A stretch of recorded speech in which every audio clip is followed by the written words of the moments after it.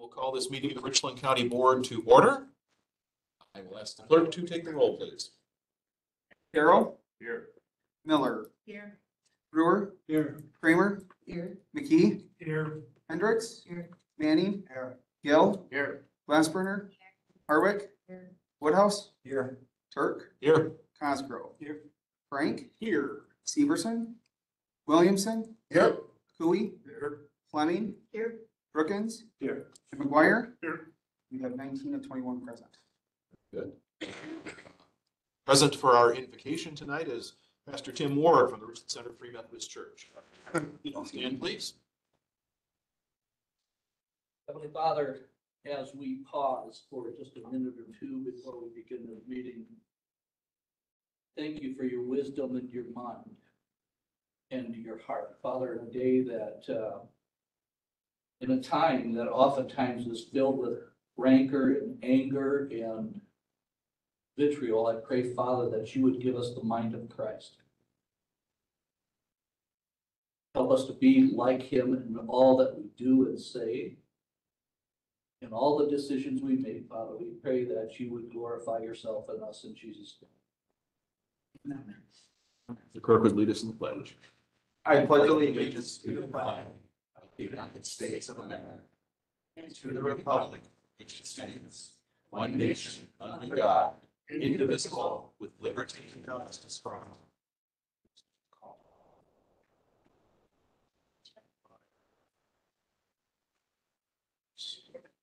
Five, are we in compliance with the open meetings law? Yes, Mr. Chair, we're in compliance. We did have an occurrence with the, agenda was posted last Friday down on the bulletin board. We noticed this morning it was removed. Don't know who did it, don't know when, but it was reposted again. It has been circulated to all the media outlets. It was posted at the county highway department. It's on our website, WRCO's website, so it got circulated. We're not sure, again, who or when that occurred, but we're going to uh, put in a, a case that has glass that locks, so that won't happen again. So. That brings us to approval of the agenda. A couple of notes on the agenda before we approve it. Public comment was inadvertently left off. We will be doing public comment tonight, so just so you're aware of that. And item number twenty-five, we will be striking from the agenda for tonight. We'll pick that up again next month. So with those two notes, do I have a motion to approve our agenda? Motion by Mr. Brewer, second by Supervisor Kramer. All those in favor say aye. Aye. Anyone opposed? Right, our agenda is approved. Uh, we do have minutes from two different meetings, the September seventeenth and twenty-fourth meetings of the county board that were circulated. Anybody have questions, corrections, or issues with those two sets of minutes? Hearing no comments, I'll declare those minutes to be approved. And at this point, we will pause for public comment. Does any member of the public wish to address the board tonight? Anyone here in the room, anyone online? All right, hearing none. We will move into the next item on the agenda, which is our public hearing on the proposed twenty twenty-five county budget. We'll Open this public hearing with a short budget presentation. Okay, so this budget presentation is exactly what you have seen before. There have been very, very small tweaks to this presentation based on the guidance that this, that the board gave me in the last review.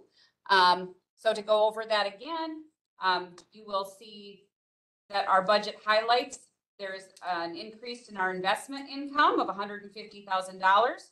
We are utilizing no general fund balance, no contingency fund, nor any ARPA funds to balance this budget. This does include a five percent wage pool, and what that means to clarify is we took the total of our wage budget and we added, we, five percent to that. That total is what we now are going to utilize to ensure that we implement the wage study that we um, are in the process of completing right now. And so we have the dollars already set aside to do that and ensure that that implementation happens. So that was done through this budget process as well. Um, you'll see that there was a reduction in short-term borrowing for our capital improvement projects by four hundred and this year, Short-term borrowing will be done with a local bank. Uh, this is for the first time we're doing this. Uh, it is a much shorter process, much less labor intensive, and it saves us approximately twenty thousand dollars in bonding fees. So all outstanding, um, points to make in this budget. And it keeps the money in the And it keeps the money in the community. We're, we're patronizing local business, so that's a win there too. Uh, the proposed budget revenues. So you can see here, we have listed out each area and how much revenue is anticipated for, um, for that line item with a total of forty-two million, five hundred seventy-two thousand, six hundred and forty-five dollars in proposed budget revenues. On the next slide, we talk about what those revenue types are. So we have county sales tax, we have interest on taxes, we have MFL and forest crop tax levy. That's the funding gap between the revenues that the county has and the expenses that the county has. Intergovernmental is state aid. Regulation and compliance are fines, forfeitures, and various other fees, permits, large group, et cetera. Public charges for service. These are departmental fees that are charged within various departments within the county. Sheriff, HHS, Pine Valley, etc. Other general revenues are various non-departmental fees, so rebated funds, short-term borrowing. And commercial revenues are our investment incomes from the general fund, um, from any judgments that are issued in circuit court. And then in highway, there's GTA, operational revenue, town and bridge, 50-50 cost share, wheelage tax, and our state maintenance agreements. So those are all ways that we, we generate revenues. Okay? The next slide, we tweaked this a little bit to make it easier to see and understand rather than the pie graph. Um, the proposed budget revenue, you'll see that tax levy makes up ten million, three hundred forty-one thousand dollars. Highway is about four point four, commercial revenue, six hundred and four thousand. Other general, general revenues about one point five. Public charges for service are about sixteen million. Uh, ninety-eight thousand for regulation and compliance, and about seven point seven million for intergovernmental, and one point seven million dollars in taxes. That's where all of those varying revenue streams are coming from. The next item is our proposed budgeted expenses. So you'll see all of the different areas, what those expenditures for the, the twenty twenty-five year are. And you'll see that that total at the bottom is forty-two million, five hundred seventy-two thousand, six hundred and forty-five dollars, which means we're balanced. We have a balanced budget. Okay? Balanced budget without using any general fund balance or anything like that. No ARPA, no supplemental funds at all. This is just us being smarter about the way that we're utilizing our dollars. Um, and so that's really exciting. And that shared revenue definitely helped as well. Uh, the expense type summary. So general government is general administration. Public safety is your sheriff, your ambulance service, your emergency government, animal control, and LEPC. Health and social services, that's Pine Valley, Health and Human Services, Child Support, and Veterans. Those are all in that category. Transportation, many of you know, some don't, that we own an airport. So that's our transportation. Highway Administration, again, um, bridge construction, town bridge cost shares, equipment, state maintenance agreement, highway system, um, culture, libraries and the county fair. Those are the two pieces of culture that we as a county engage in. Uh, public areas, we have snowmobile trails, county parks, Ash Creek Community Forest, and the Simon Center. Uh, special education, we have our extension office.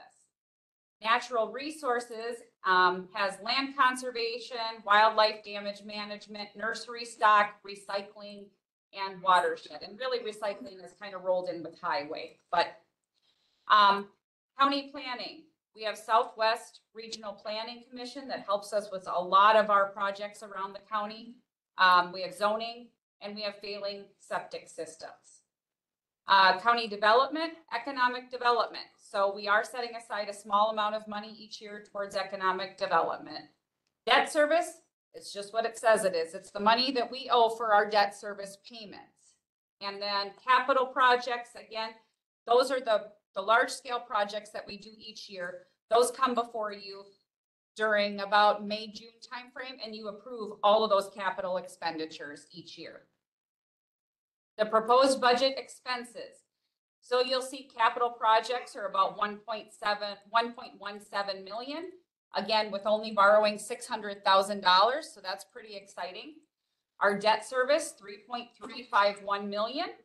County development, thirty-seven thousand five hundred. County planning, hundred and fifty-four thousand. Natural resources, about five hundred and forty thousand. Special education, two hundred and two thousand. Public areas, six hundred twenty-two thousand roughly. Culture, about three hundred and eighty thousand. Highways coming in right around six point one million. Transportation is about thirty-six thousand. Health and social services is about twenty-one thousand dollars. Public safety is about five point five million. And general government is about three point two million. So again, that's where you're gonna see those expenses. The next slide shows a summary of our debt service, what the balance remaining is, and when the maturity date is. So as you can see, um, we have one that will be falling off in March of twenty twenty-five. That was a debt consolidation bond. We'll make the final payment of two hundred and forty-five thousand dollars. We have another debt consolidation bond that will mature in March of twenty twenty-seven. The balance remaining there is one million twenty thousand dollars. We have capital improvement borrowing. That was about one point eight million dollars. That matures in twenty twenty-eight. And then we don't see maturation until 2035, 2036, and twenty thirty-eight. Those two larger amounts, seven point nine million and a little over seven million, almost seven point one million, are both Pine Valley bonds. And then we have the radio tower project, which is again underway, yet to be completed. For a total of twenty-six million, two hundred and then on to the right there, you see what the total uh, debt payment is. You saw that in the slide prior. Three million, three hundred fifty-one thousand, four hundred eighty-eight dollars annually is what we utilize to pay debt service. So gross levy, where are the largest expenditures by department? Um, you'll see the sheriff's office comes in at four million dollars. Our debt service is about three point four million dollars. Highways about one point two. Institutional cost funds about one point four. HHS, and I want to highlight this because there's a lot of misinformation surrounding how much of the levy HHS utilizes. Out of the twenty-one million dollars that you saw in that whole big picture, now granted, that has Pine Valley, that has other items in it. But the large amount of services that are provided to our community cost nine hundred ninety-four thousand dollars. And that is astronomical. They do such a great job of generating those revenues, obtaining those reimbursements. And I think it's, it's a testament to the passion that they have for our citizens and for our community. Um, all other departments, you see a negative number here. Uh, Larry, that's negative number exactly, all those other departments, it's the general fund, and those general funds actually receive revenues in excess of expenses, and those actually use, when you're talking about such things, sales tax is included in that. Um, you're talking about the, um, special assessments that are included in that, we're also talking about Pine Valley, Pine Valley's contribution back to us that is included in that, our borrowing is included in that. So there's actually more revenues in that general fund than there is expenses. That actually subsidizes the rest of the funds that are not, that are drawing off the levy. So if they didn't have that revenue in there, the levy would actually be higher. so administration is a great example. Administration, county administration will never make money. We have no way to generate revenue. But those areas that are generating revenue in excess of what they're spending, that goes into that general fund and that continues to help fund all of the other operations that are happening within the county that don't have the ability to generate their own revenue. So that's what that number means and that's why it looks like a negative because that's excess, uh, excess funds there. So twenty twenty-five proposed gross levy, and you'll see down at the bottom, ten million, eight hundred seven thousand nine hundred and twenty dollars and twenty-three cents. That was twenty twenty-four.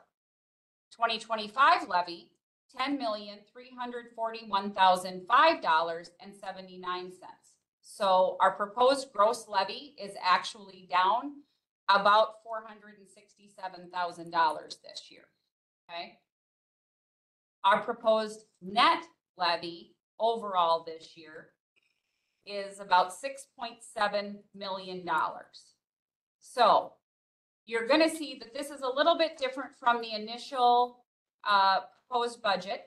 And again, as I stated, you gave us some directives, you gave us some guidance on what you wanted included in this final budget. And so we did that. And so Larry is going to explain to you the next sheet and how that affected those overall proposed budget numbers. Okay. Virtually this sheet here, as you can see, just starts out with the preliminary budget and it goes over to the proposed budget. And virtually you can see the differences, it just goes right down the line, the budget to expenses.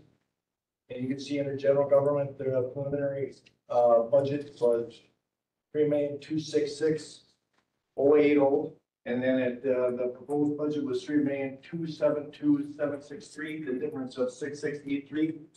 If you look at those differences, if you go down below, with the reconciliation, we see where the preliminary budget is. It's four, forty-two million, four seventy-four, one oh three. You can see where the preliminary budget is, and then what we did the preliminary budgets, we added one sheriff deputy for thirty-six thousand, two seventy-eight. We added, um, we moved up two departments, man conservation and feeds. We moved up two of those folks to thirty-five, from thirty-five hours a week to forty hours a week. They have been at, uh, thirty-five hours a week in the past. We have moved two departments this year. This spring, two departments out of, I believe, six that were still on thirty-five hours a week. We moved two departments up. And that cost thirty-three thousand two hundred seventy. We took those funds, we took seventy-one thousand dollars out of the capital projects funds in order to pay for those. That comes out through our proposed budget, and our proposed budget is the forty-two thousand, five seven, five hundred seventy-two thousand, six forty-five. That difference of one thousand, four hundred sixty-eight dollars, that is the difference in estimated in the estimated shared revenue that we originally estimated, we originally estimated shared revenue at about five percent increase. And I think we were about fourteen hundred fifty-eight dollars off, so we had to make that adjustment the budget. So that's what that other is.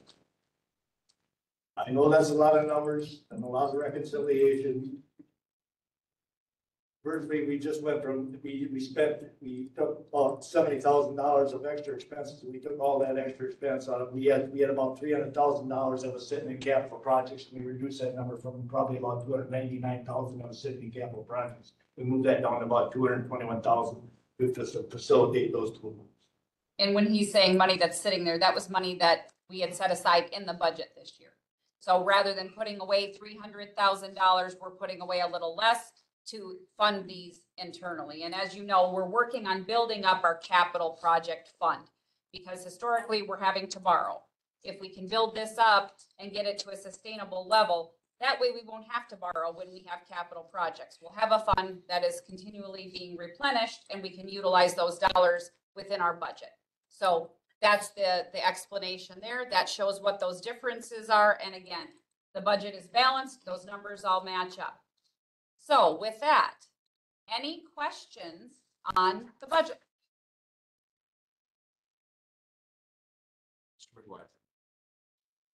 I wanted to know how the contingency fund was affected there. That went a little fast for me. Uh, Was there money taken out of that fund or money putting into that fund? There was no money taken out of the contingency fund. There was not. No, Do we carry a balance in the contingency fund? we do. I don't know what it is off the top of my head though. A hundred and, there's not very much Not left there, much. a hundred and twenty-five roughly. Yeah, Hundred and twenty-one thousand, is that what you're saying? Yeah, hundred and twenty-five thousand, twenty-one, around hundred and twenty something, I believe. Yeah. Without memorizing the number. it's not a lot. Yeah, it's not a lot. Is that, uh, that a normal amount or is that low for, we have an average over, over a period of years on that contingency fund? We'd have to get that data. I don't know over the years. years. I would say that we're doing a better job now anticipating a lot of things, so our reliance on that as a funding source has diminished over the last couple of years. We years. haven't used it. Yeah, We- We haven't Haven't broken used it. it. No, not the Haven't last touched couple of it. years. haven't needed to. Those who've been on the board for a while, remember, we used to hit that for things fairly regular. Mr. Chairman. uh, Yes, Mr. Ten Crowe. years ago, we made a resolution that we had to continue continuously carry at least three months. Yes, and that's a general fund balance you're talking about. Basically, our contingency fund. Yep. By just good bookkeeping practices, carrying at least Well, three months. that's, that's the general fund balance, but then we have a contingency fund as well. That is for those unexpected expenditures that we can utilize, you know, on a whim if we really need to. Okay, all right, thank you. Point is, we're not broke. Nope. We are not. Mr. McKee?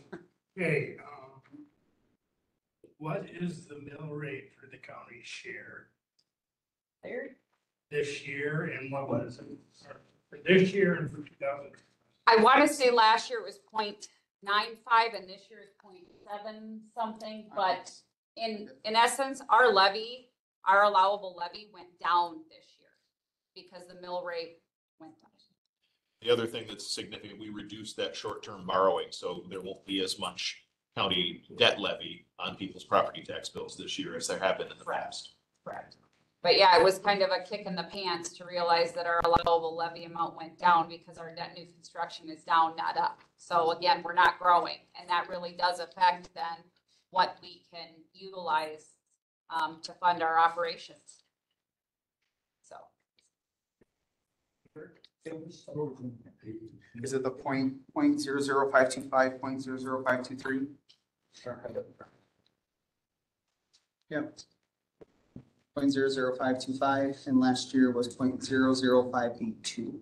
Yep. So, and, and equalized value was, um, um, a little higher this year as well, so, I'm not the official, uh, namer of the mill rate, that's more of the treasurer's thing. Yeah. Um, but nonetheless, I can tell you that equalized values were increased this year, which is going to affect that to a certain degree as well. Cause everybody got reassessed, right? I think a large number of people did get reassessed. They didn't notice that value was um, a little different than it was a year before, so. Other questions? This is a public hearing, so the public can ask questions too. question I have.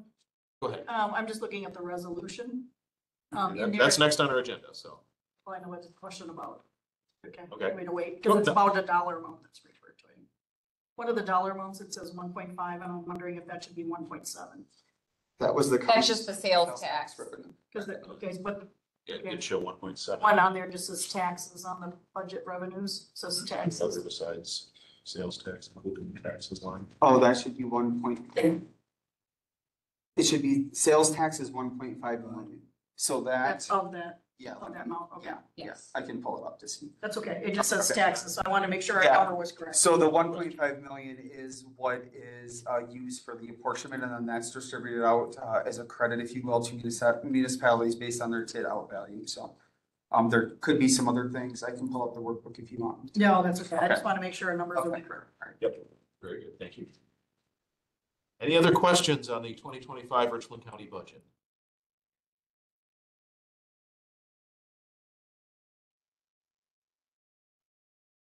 Hearing no questions, we will close the public hearing on the budget and move to the next item on our agenda, which is a resolution adopting the Richland County budget for twenty twenty-five.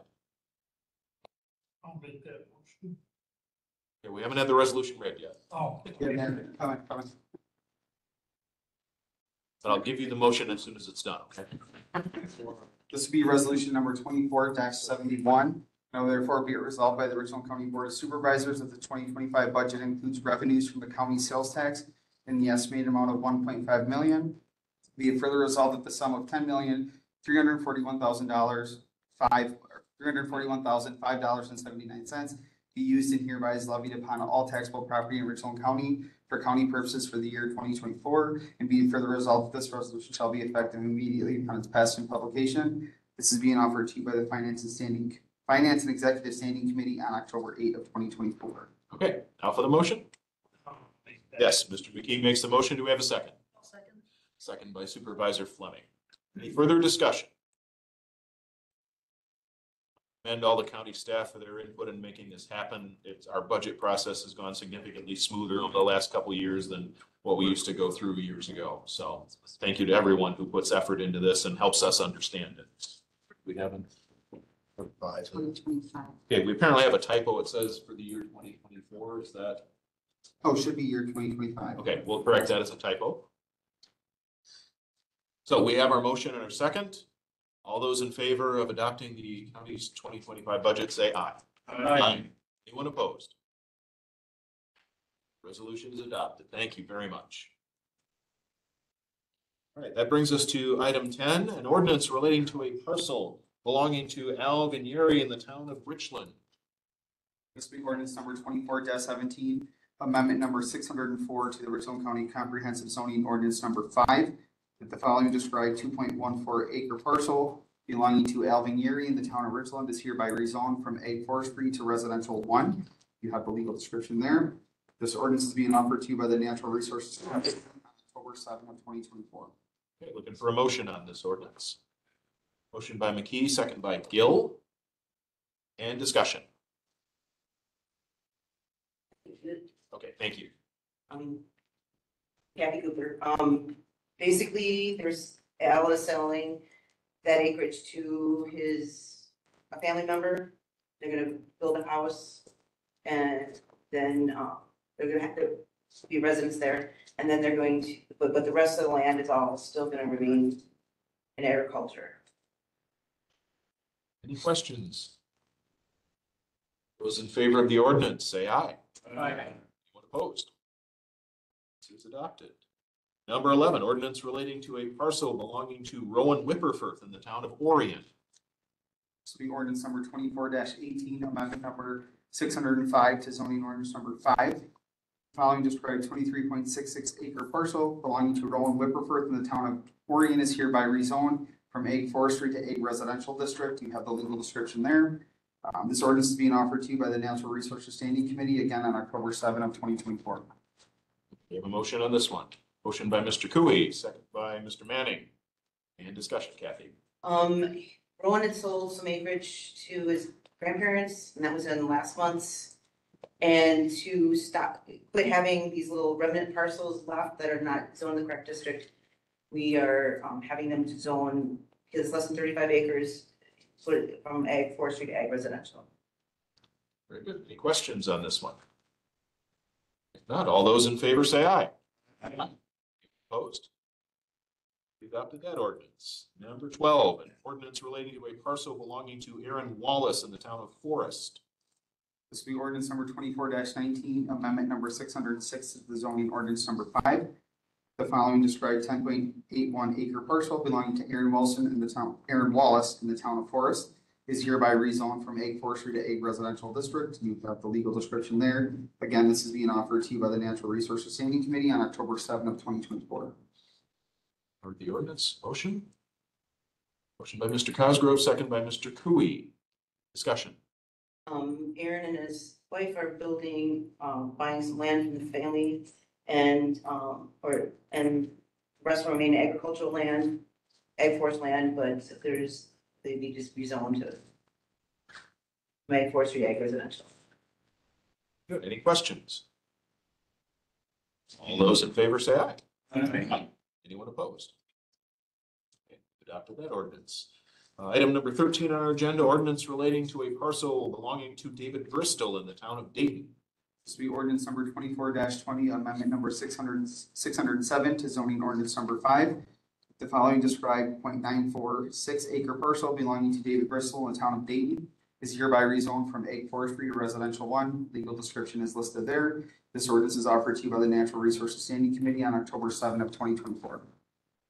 Chief of the ordinance, do we have a motion? Motion by Mr. Cooey, second by Mr. Woodhouse. And discussion. Um, this one, there were, and actually, I'm sorry, Gary, I might have to rely on you, how this works. There was, Er- David and Echo Bristol own like two little parcels and they're trying to. Neither one was zoned in the Park zoning district. And, s- am I doing it right? My, his mother owned one, and when she died, he inherited one, Yep, and the other one he had owned. yeah, so they're, Rezones. Oh, Oh, you've done, so they're just fixing on, fixing an issue. Okay, we're we're cleaning up a problem. Any questions on this one? If not, all those in favor say aye. Aye. Opposed? Ordinance is adopted. Item fourteen, ordinance relating to a parcel belonging to Robert McConkey in the town of Richland. This is ordinance number twenty-four twenty-one, amendment number six hundred and eight to zoning ordinance number- number five. Following described ten point three eight, three eight acre parcel belonging to Robert McConkey in the town of Richland is rezoned from ag forestry to ag residential. Legal description is listed as follows. This ordinance is once again offered by the Natural Resources Standing Committee on October seven of twenty twenty-four. We have the ordinance. Do we have a motion? Motion by Mr. Couey, second by Mr. Manning. And discussion. Um, there's a house on this parcel, it's actually the campground, part of the campground out there. And it's just like a, a cleanup thing again, just trying to. He was gonna build something, so they had to clean it out. Anybody have a question on this one? If not, all those in favor of the ordinance say aye. Aye. Opposed? Adopted that one. Item fifteen, an ordinance relating to a parcel belonging to Melvin Mishler in the town of Henrietta. This is ordinance number twenty-four 2020 24 twenty-two, amendment number six hundred and nine. The following described two point zero four acre parcel belonging to Melvin Mishler in the town of Forest is hereby rezoned uh, from ag forestry to residential. I believe that should have said town of Henrietta. Kathy, It could be, I believe. yep, should it says say- on Okay, so that should say town of Henrietta, not Forest. That is as a typo. um, is hereby rezoned from ag forestry to residential one. Legal descriptions listed. This is offered to you by the Natural Resources Standing Committee on October seventh of twenty twenty-four. Looking for a motion on this one. Motion by Manning, second by McKee. Discussion. Um, this will, uh, th- this one is, they're selling off the residence, so that needs to be zoned, a, uh, is the acreage residential one. And the rest of it will be, and that'll be the next one, they're zoning it, what, thirty-five acres, rest remaining, what's left, what he owns, will be, that'll be going to the, yeah. So this is the first of two for this one, so. Um, any questions? All those in favor say aye. Aye. Opposed? Ordinance is adopted, and now an ordinance relating to another parcel belonging to Melvin Mishler in the town of Henrietta. This will be ordinance number twenty-four twenty-three, amendment number six hundred and ten to zoning ordinance number five.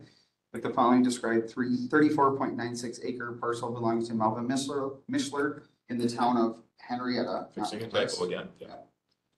is hereby rezoned from ag forestry to ag residential district. Legal description is listed as follows. And this ordinance is being offered again by the Natural Resources Standing Committee on October seventh.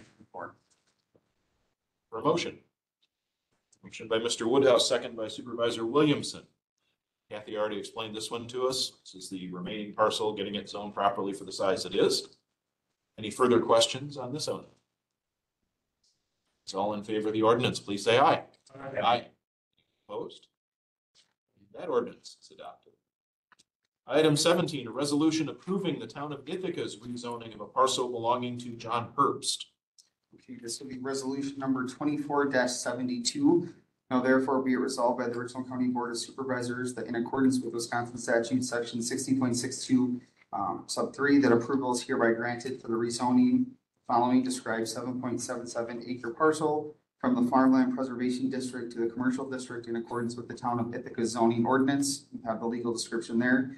Be it further resolved, that the zoning administrator shall submit a copy of this resolution to the known clerk of the town of Ithaca. Be it further resolved that this resolution shall be effective immediately upon its passing and publication. Once again, offered to you by the Natural Resources Standing Committee on October seventh of twenty twenty-four, not twenty twenty-three. To approve the resolution, do I have a motion? Motion by Supervisor Kramer, second by Mr. McKee. And discussion? I'll take that. Yes. I'm Michelle Wonthall, I'm zoning administrator for Ithaca. Welcome. And this is a parcel that is being sold to um, Larry and Sherry Nelson and Lori Pizer. They're going to turn the old German house into an Airbnb with hopes of adding a wedding venue as well. Hence why it's being zoned commercial. Um, So it just had to be done so they could go with that. Anybody have questions? If you're in favor of the resolution, please say aye. Aye. Opposed? Resolution is adopted. Thank you. Uh, item eighteen, a report on petitions for zoning amendments received since the last county board session. There will be two this next time. There will be two. And, um, it's again, some of this cleanup. for those to the Natural Resources Committee and a report on petitions for uh, zoning received recommended for denial by the Natural Resources. We have none. Okay, very good. Thank you. That brings us to item twenty, an ordinance approving an amendment to the Richland County zoning ordinance number five. Um, this will be ordinance number twenty-four twenty-four, an ordinance approving an amendment to Richland County zoning, zoning ordinance number five. The Richland County Board of Supervisors does hereby ordain that section two C one B sub three of the Richland County's zoning ordinance number five is, is amended to read as follows. Um, that the section three of that will list um, up to two farm residences. Be it further ordained, this ordinance shall be effective upon its passage and publication and is again offered to you by the Natural Resources Standing Committee on October seventh of twenty twenty-four. Right. The ordinance, we have a motion? I'll make that motion. Motion by Supervisor Fleming, second by Mr. Manning. And discussion on this change. The reason, um, this change is brought forth is because there's, it, the ordinance is, or the ordinance is silent on an ag, ag forestry district, how many farm, farm, farm residences can be put on there? And then consult, consultation with Attorney Wendell, we decided to two, because in theory, they could have done a whole lot more, so we thought we'd clean this up. And make it obvious what, what it's about. Questions from the board? He has a question, then all in favor of the, yes, go ahead. Does that affect anybody in the county? We haven't had too many, we just had a couple people lately that they wanna go up to the two, but they didn't know if there's any more that was allowed, and we just, I'm just curious, you know, the size of the farms are much bigger than they were at one time. right, but that's, that's on a parcel zone ag forestry. Okay, so just ag forestry, okay. Yeah, so if they, you know, if they take a different parcel and it's forty acres and they wanna put it, I mean, that's, Yeah, understood. Just because, you know, you see where I'm going. yep, I do. Okay. Any other questions? Not all in favor of the ordinance, say aye. Aye. Opposed? This is adopted. Uh, Item twenty-one, a resolution setting the fee for certain rezoning. This will be resolution number twenty-four seventy-three. Now therefore be it resolved by the Richland County Board of Supervisors that the fee for the rezoning of parcels which are not new land division shall be set at hundred and twenty-five dollars. Be it further resolved that this resolution shall be effective immediately upon its passage and publication is once again offered to you by the Natural Resources Standing Committee on October seventh of twenty twenty-four. Yes, we have a motion first to discuss.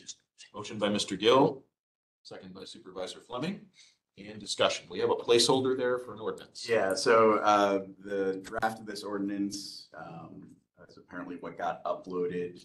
I would have to dig through and find, unless Kathy, you know it off the top of your head, what the actual citation would be. Um, no, I don't have that with me. But there is in the zoning ordinance a fee. Piece that goes towards an end. um, And so we would be amending that. Uh, And either this could be postponed if you'd rather that citation be inserted prior to, or we can simply uh, move to amend to incorporate the proper citation. It's your pleasure. Kathy, when were you thinking of trying to put this in effect? As soon as we can, we've got a lot of people that, what, what we're trying to do is, is people come in to get a different, a permit for a house, a building, a driveway permit, a sanitary permit. There's these little remnant parcels that are zoned incorrectly. And we don't have to do anything besides, So they're being penalized because this was. they have to pay the four hundred, the five hundred some bucks, five hundred, five hundred, five hundred fifty dollars for it, and it's, we don't feel that, I mean, we don't know why those parcels exist the way they are. Now, if you're coming in and doing a new, that's different, but these, we don't consider new because we're wanting to try to clear up, clean up some of the remnant parcels. Our intent here is to amend our county ordinance. It's just we don't have that specific ordinance listed Yep. here. and We would have to fill that in later And if we approve this the way it is now. alternative is simply take out everything between the commas. So uh, rezoning of parcels which are not new land division shall be set at one hundred and twenty-five dollars because that, that's in there somewhere. That would affect the same thing if, if anybody wanted to make that an amendment. I'll make that. Mr. Couey proposes that amendment of striking the language between those two commas, so it will read, which are not a new land division shall be set at one hundred twenty-five dollars. Second. Second by Mr. Williamson. Any discussion on the amendment? All in favor of the amendment to this resolution, please say aye. Aye. Anyone opposed? All right, now to consideration of the resolution as amended. Any further discussion? If not, all in favor, say aye. Aye. Anyone opposed? Our amended resolution is adopted. Thank you. Item twenty-two, a resolution approving the Natural Resources Standing Committee applying for and accepting a lake monitoring and protection grant from the Wisconsin Department of Natural Resources. Okay, this will be resolution number twenty-four seventy-four. Now therefore be it resolved by the Richland County Board of Supervisors that approval is hereby granted to the Land Conservation Committee to apply for a lake monitoring and protection grant from the Wisconsin Department of Natural Resources in the amount of up to eight thousand five hundred and sixty dollars to pay for staff time and supplies for aquatic invasive species projects in the county. Be further resolved that the Richland County Land Conservation Department will meet the financial obligations necessary to fully and satisfactorily complete the project and hereby authorize and empowers the following employees to submit the following documents to the Wisconsin Department of Natural Resources for the financial assistance that may be available. You have a list um, there for you in the resolution. Be further resolved that there is no county match required for this grant and approval is hereby granted for the grant funds to be spent in accordance with the terms of the grant. And the county conservationist, Ms. Kathy Cooper, is hereby authorized to sign on behalf of the county any documents needed to carry out this resolution. Be further resolved that the applicant will comply with all local, state, and federal rules, regulations, and ordinances relating to the project and the cost share agreement. And be it further resolved that this resolution shall be effective immediately upon its passing publication. This is once again being offered to you by the Natural Resources Standing Committee on October seventh of twenty twenty-four. Thank you. That was a mouthful. It's a lot. Motion by Mr. Manning, second by Supervisor Fleming. I say I have a typo in there, I have land conservation committee and it should be natural resources committee. Okay, we'll fix that as a typo. Mm-hmm. And this is like a grant we can apply for every year and we, as we spend the money, we, we- uh, at the end of the year, we can send in reimbursement. And the grant has to be written this, the resolution has to be written this day for the DNR. Yep. Didn't sound like our words. Any questions on this? Yes, Mr. What McGuire. does this thing do? Basically, we do things like we do clean boats, clean water, education at the boat landings, when we, get a chance to there, we do a snapshot day. We Went out to, this year we went out to the kayak landing, uh, out, um, up at eighty, and we looked for, spent two hours looking for if there's any invasives we saw. Um, it's the signage at the boat landings, it's, um, bait shop, talking to bait shop landowners. Um, it's education to prevent the spread of aquatic invasive species. Yes. Other questions? Yes, go ahead. Do you do anything with Lee Lake at all? We haven't been up there yet for the clean boats, clean water. Um, we've been in consultation with the DNR on that, and, you know, I know there's been issues with the algae, but I, the only way you can do that is kind of chemical, maybe. And if it's gonna control it or not, you know, and I if we want to chemically treat that whole lake, you know, we don't have, I don't think there's enough money here to do that. Beginning from the stage, so that's something the village may have to apply for. It's owned by the village, up and does special grants. Do that. Thank you. Any other questions? Hearing none. All those in favor, please say aye. Aye. Anyone opposed? No, Show there was one opposition. And the resolution is adopted. Uh, item twenty-three, reports from the county administrator on short-term borrowing, wage study update, and Tyler implementation update. Okay. Thought there was a short-term borrowing piece in, Heather, didn't you get uploaded? Short-term borrowing, wage study updating Tyler implementation. Yeah, I thought that was in the packet. Yes, what about? Um, There was a chart. Um, at any rate, we applied for three different, um, banks. So Larry put out to three local banks, uh, for short-term borrowing. And that amount is not to exceed, as the prior resolution indicated, six hundred one thousand two hundred dollars. And I was authorized to enter into and execute the agreement, but I didn't feel appropriate doing that before bringing it back to the committee or to the board, just so that you're aware of, of what that looked like. So Richland County Bank came back with an interest rate of five point five percent. Royal Bank came back with an interest rate of five point four five percent. And Community First Bank came back with an interest rate of four point four nine percent. So we do plan to award the short-term borrowing to Community First Bank, and we will be doing that after this board meeting is complete. You get a quote from People's Community Bank. Larry, how many banks did you put it out to? I put it out to those three banks. Yep, so it was put out to those three banks. Any other questions on the short-term borrowing? All right, so then additionally, um, we, as you know, we're in the wage study and we are in the, uh, appeals phase now. So all of the new job descriptions, I would say all with the exception of maybe five or six that were either missed or, um, need to be tweaked, um, are done. They've been sent out to employees. Employees now have them in their hands. We had employee meetings, uh, yesterday. We had meetings at nine o'clock, eleven o'clock, one o'clock, and three o'clock. So Tessa Melvin was here. We also, um, had WebEx access for all of those meetings and recorded the first meeting. Well, we recorded all of them, but we are going to post the new, the first meeting has been posted for employee access. Um, and that email has been sent out so that anyone that was unable to attend could watch that meeting. That meeting was the one with the most questions asked, so that's why we, we posted that. Um, what happens now is employees look over their job description. If there are things in there that they don't agree with or are unnecessary, they strike them. If there are things that they feel need to be represented, uh, more accurately, they can note these on the form. So there's a form that went out to all employees today. They have until next Tuesday to complete them and return them to me. I will review them and then I scan them all in and I upload them and I send them to the employee, their supervisor, and to Tessa Melvin. So that any changes that are made, just like with the PAQs that they all did that determined their job description, all of those changes, all of those documents were returned to the employee along with the new job description. So it's completely transparent. They can see what was changed. They can ask why it was changed if they're unhappy with it.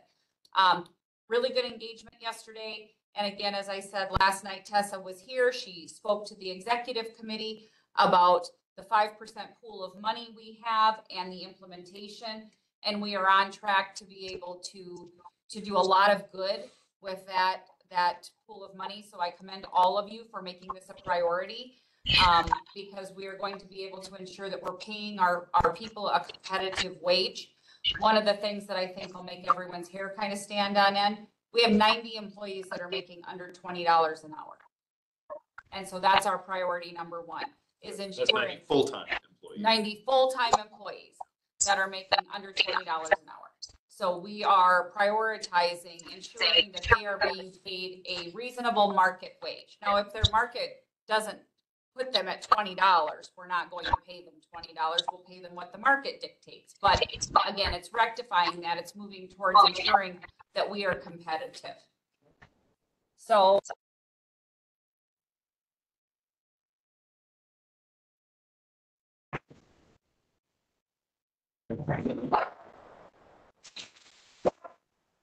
And then after that, each employee does get to see their placement on the scale and they get one last chance to appeal. Not because they don't like the money that they're getting, but because they really truly do feel that something is missing from the job description.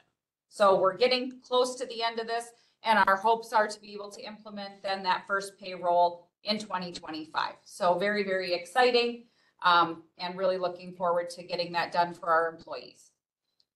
Um, Tyler implementation. So as you all know, we're working towards getting this Tyler implementation done. There are a lot of employees dedicating some time to taking training, being in on a number of calls. Um, and Larry is the project manager on the Tyler implementation, so I'm going to let him speak to you about how those things are going. You, um, right now on the Tyler project, we got the core group, I'll say the super users or the core group, uh, is in training. Uh, we're doing module training and setup, um, so that's, right now we're doing that, we just had a data pool. So they pulled the data, the first data pool along with the first, uh, report pool. So that means that they firstly took our data and it's going into their system and starting to set up our system with, with their system.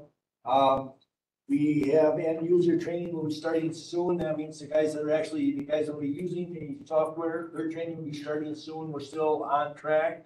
Uh, we're still set to be, it'll be in the first, just dipping in the Q two of, of two thousand twenty-five. It looks like we got, uh, we got about nine payrolls. They're pretty complex. We're gonna try to get them down to one and get them all combined. So that's gonna take us a little, couple extra weeks they wanna give us to try getting that all figured out. So that's gonna push it back probably into that Q, Q two of two thousand twenty-five for full implementation.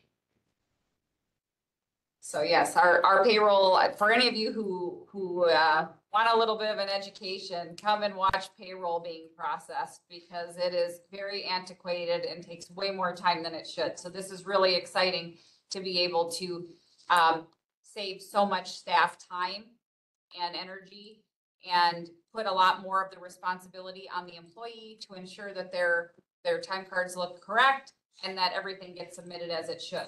And we'll have workflow documentation. We'll be able to see if there's a hiccup in the process. We'll know exactly where it is and where we need to fix. So it's really, really great stuff. So, um, with that, those are the end of my, my major updates for today. Questions for the administrator on these reports? I have a question. Yes, Mr. Brewer. So we'll no longer use the stand-up desk in your office, do the payroll? Or be honest.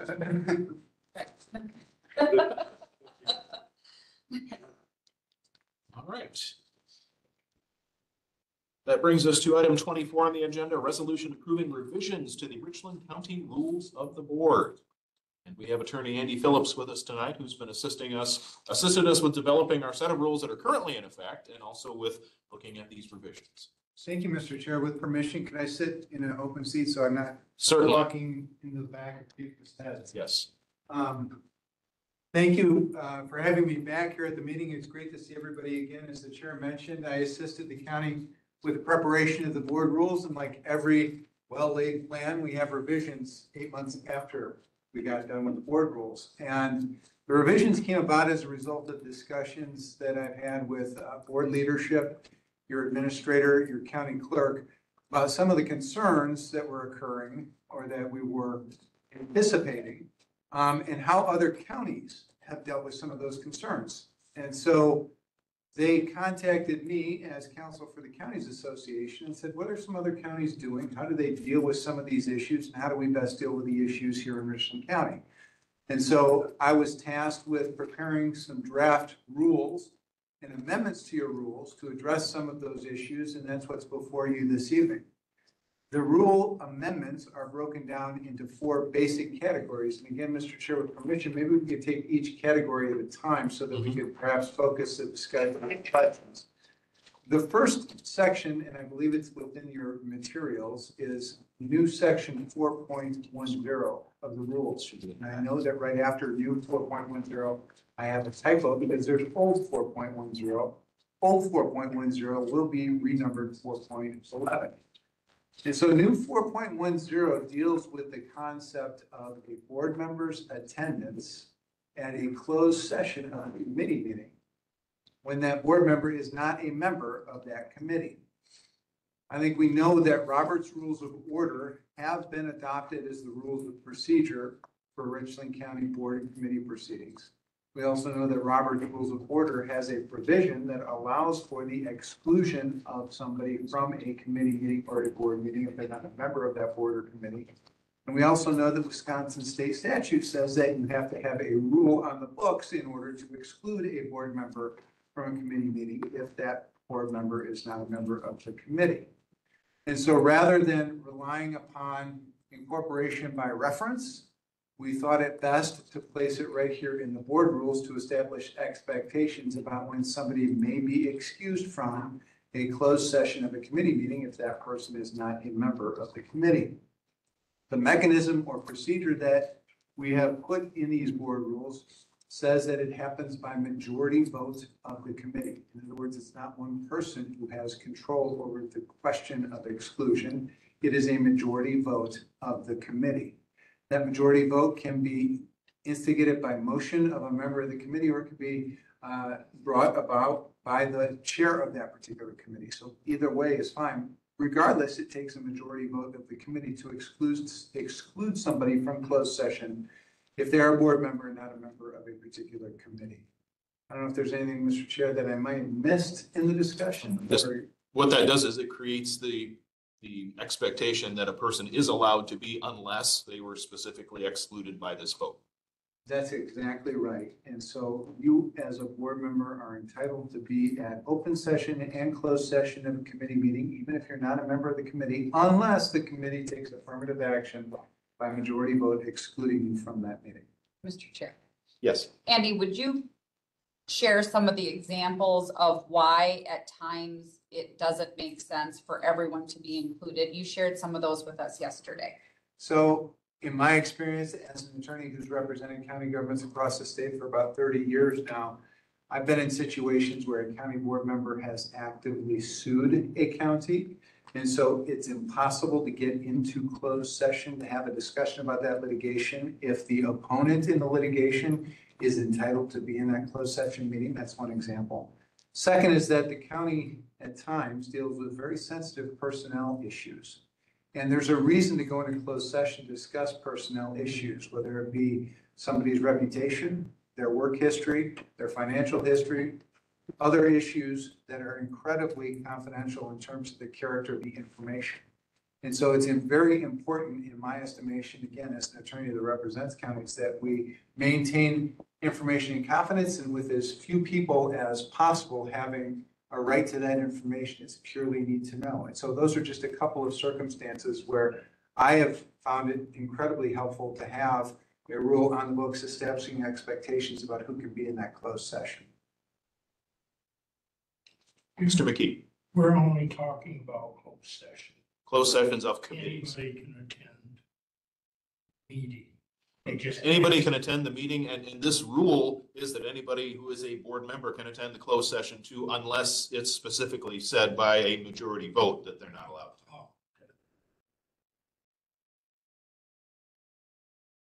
Other questions in this section? Mr. Brewer? Isn't, isn't though normally the chair of that committee in the, in the past, and maybe that's why we're cleaning this up, the chair declares that I want so-and-so and so-and-so to stay and And, and we did ask Andy about that. The chair can list those and make that part of the motion to go into closed session, so there is a board vote on that.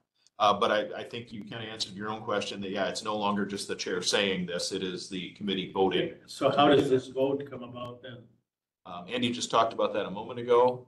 Either somebody makes a motion to exclude a supervisor or the chair can say that the particular supervisor is excused. It's just in order to effectuate that supervisor being excused, it requires a majority vote. Something has to set it in motion though. Correct. And I'm Correct. wondering what kind of language would be It can appropriate. either be part of the motion to go into closed session, or it could be a separate motion to I would exclude. think so. You, you need to set it in motion. Mhm. Mr. McGuire? Do we have a list, is, it- is the county in charge of a list of specific items that would, that we can or cannot go into closed session about? In other words, we can't just say, let's go into closed session for anything, we have to have, we have to have an, an item list. There are statutory things, and Andy, maybe you can address that. Yeah, subject to your corporation counsel, who's the expert on open meetings law for the county. Um, it's nineteen point eight five sub one of the statutes, which has eleven different reasons that you go into closed session. Um, in county, uh, meetings, typically I see it either for a quasi judicial hearing, so you're taking evidence to make a decision as a result of that hearing, a personnel issue for competitive or bargaining reasons, when somebody's personal, financial, medical, or social history is going to be discussed, or when you're going to confer with legal counsel about a pending claim. Those are the reasons in statute. What is that statute number? Nineteen point eight five subsection one.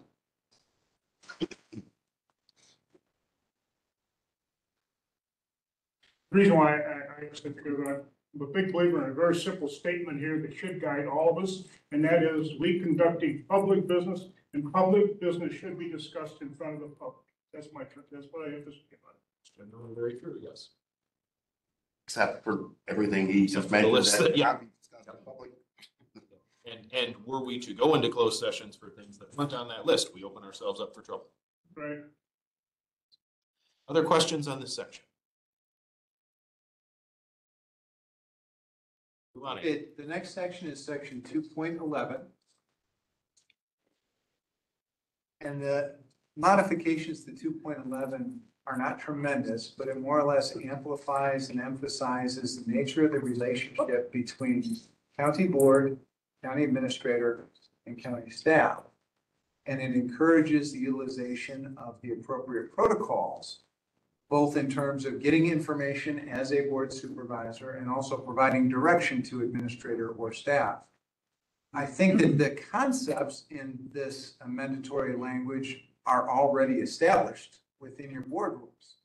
Already established within state statute. But I think, again, if we look at the purpose of board rules, and I can recall this discussion, again, eight, nine months ago, when we started down the path of of creating the board rules in the first place, it's to set expectations for the board and for the members of the board of supervisors. And so two point eleven, again, the language here is to essentially clarify the nature of the relationship between the county board, the county administrator, and county staff.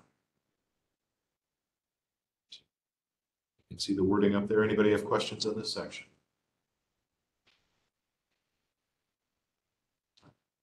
Okay, section two point fourteen. That's where we have significant amendments to the board rules. Two point fourteen is essentially what I would refer to as a code of conduct for board member actions and conduct during board committee mission meetings. This section was lifted in great part from a couple of different counties that have rules of conduct on their books. One of the counties I worked with extensively on their rules of conduct. And again, I don't think there's anything in these rules of conduct that are earth shattering or controversial. I think the expectations that are laid out here in the rules of conduct are pretty common sense. So again, the goal here is to provide a set of expectations for how board members will conduct themselves. Subsection A is a simple recitation of what I view to be global understandings of what it means to be a board member and how one conducts him or herself. Subsection B, if we scroll down, relates to, if I recall, board member conduct during meetings, whether it be a board meeting or a committee or commission meeting. Subsection C deals specifically with conduct outside of meetings. And then subsection D, again, has more of a global view toward board member conduct and the expectations. I'd like to make it very clear, we had a lot of discussion, we, me, board leadership, uh, and county administrator, about the distinction between rules of conduct and a code of ethics. And I think people just in normal conversation don't have a clear understanding of the distinction between those two concepts. You already have a code of ethics, you already have an ethics committee. That code of ethics and your ethics committee deal with defined standards of ethical conduct based primarily on nineteen point fifty-nine of the Wisconsin statutes. When the state defines ethical conduct in statutes, it's speaking to primarily financial conflicts of interest and potential for financial conflicts of interest. As you'll note in these rules of conduct, we're not dealing with financial conflicts of interest or potential financial conflicts of interest. We're dealing with rules of conduct. And so I don't want anybody to be confused about the purpose of this amendment to your board rules. It's not new ethical standards. You already have a code of ethics. You already have an ethics committee. These are rules of conduct governing your conduct as board supervisor, in meetings, whether it be board or uh, committee meetings, in relationships with staff, in relationships with the public, in those types of circumstances. You as the board police conduct under these standards. It's not an ethics issue. So I just wanted to make that clear from the outset that there is a significant distinction between a code of conduct like we see here and ethical standards that we see in ethics codes. As I mentioned before, other counties have established codes of conduct or rules of conduct that look very similar to the language that you have before you. I can tell you, and again, this is just my own observation, it has led to a greater level of decorum in board and committee meetings. And of course, we know in Robert's Rules of Order, they, they speak to this concept of decorum. What is that expected for decorum purposes at board and committee meetings? So I've seen rules of conduct like this be very helpful. So that's why they're here. I'll turn it back to you, Mr. Chair. Questions on this section? This one has a lot more stuff.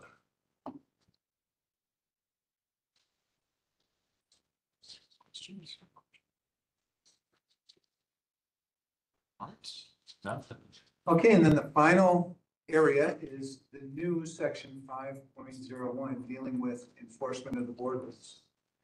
If we look at the new section five point zero one, there is nothing in this section that doesn't already exist in terms of an enforcement mechanism for these board rules. It's just not spelled out in the, so again, in order to establish expectations, we thought it best to lay out the process for enforcement of the board rules. If somebody is acting outside the boundaries of the expectations set forth in the board rules, what happens?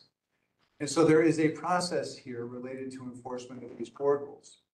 In subsection B, we see the potential remedies that are available if somebody violates the board rules. And they go all the way from a private meeting to a public censure, to a resolution censure, to a referral to the Executive and Finance Committee to see if cause exists to seek the removal of that board member from the board.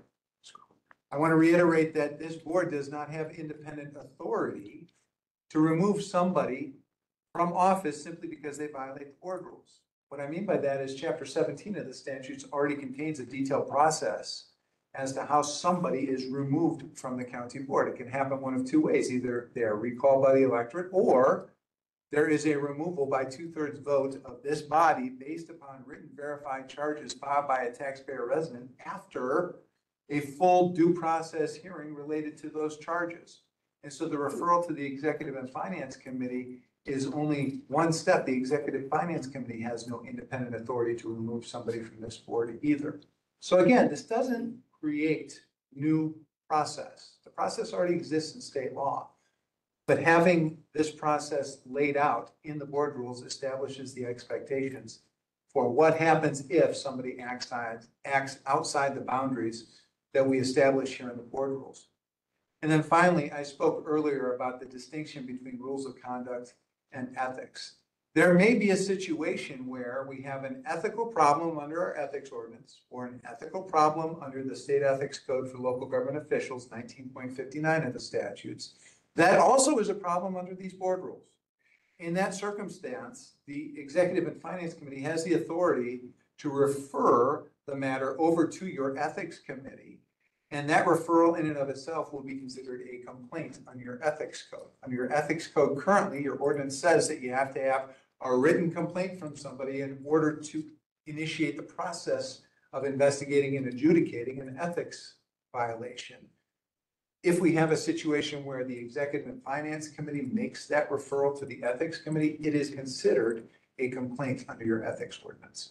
So again, maintaining the distinction between those two different situations. With that, I'll turn it back to you, Mr. Chair. Questions on this section?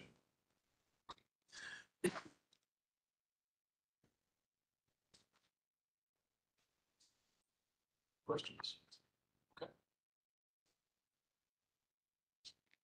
And the overall goal here was not we're breaking new ground, it's to incorporate more specificity in some of the things that were there, but maybe not explicitly stated. Is that a fair assessment? That's a really fair assessment. I'm glad you point that out because I don't want anybody saying, oh, Andy, you missed this eight months ago. That's not what happened whatsoever. I think that board rules, I've always said this, that they are a living, breathing document and they are not going to exist for twenty years without change. And if they are, that just means you're not paying attention to your board rules and how you operate. They're an evolution. And so I anticipate, fully anticipate that in another year and a half, when a new board is seated, people might have different ideas about the board rules, and that's okay. You should have those rules conform to what you believe you ought to be doing here as a county board. So that's awesome. So you're right, Mr. Chair. These rules are not earth shattering, they're not groundbreaking, they already exist. But again, if we're going to establish expectations, let's put them in the board rules. And I think that's the goal. Before we proceed to the resolution to adopt these, any other questions on stuff we've talked about here? Mr. Manning? Make a motion. Oh, okay, well, let's see if anybody else has questions first before we move into making the motion on the resolution.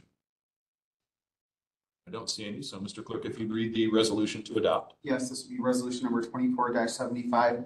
Now therefore be it resolved by the Richland County Board of Supervisors that approval is hereby granted to accept the proposed revisions and adopt the revised Richland County Rules of the Board. And be it further resolved that this resolution shall be effective immediately upon passage. This is being offered to you by the Executive and Finance Standing Committee yesterday, October twenty-eighth of twenty twenty-four. So you've heard the resolution. Mr. Manning, you wish to make a motion now, okay? Second?